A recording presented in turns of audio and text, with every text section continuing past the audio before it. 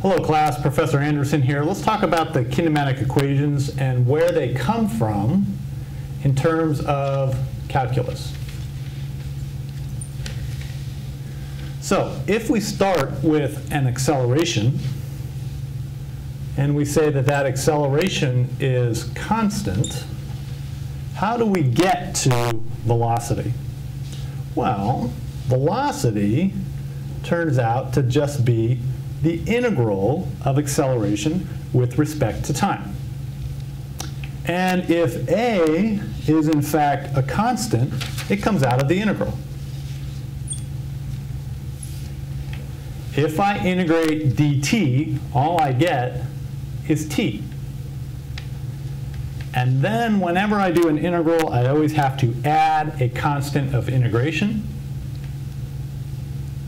And we will tell you what that constant is in a second.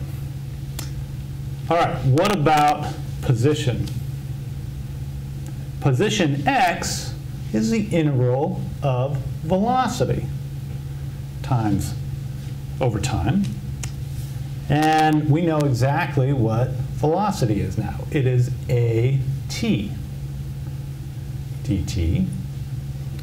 But we had this constant of integration here to worry about. So we have to include that. Let's call that thing initial velocity vi.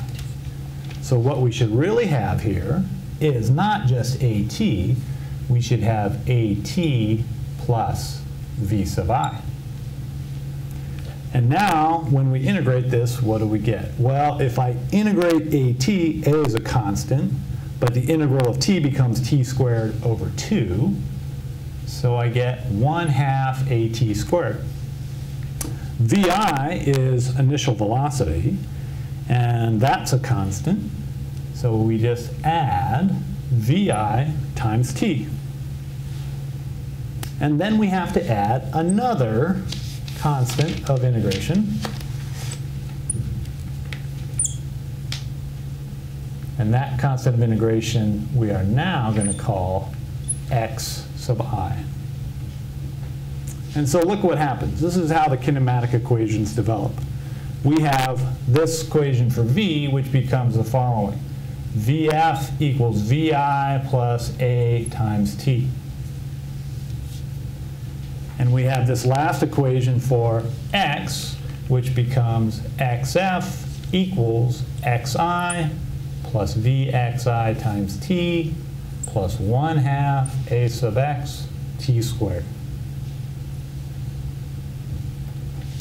So the kinematic equations, you don't really have to remember all of them if you just remember how to do integrals. If you know how to integrate, all you have to do is start with a, and you can get to two of our kinematic equations.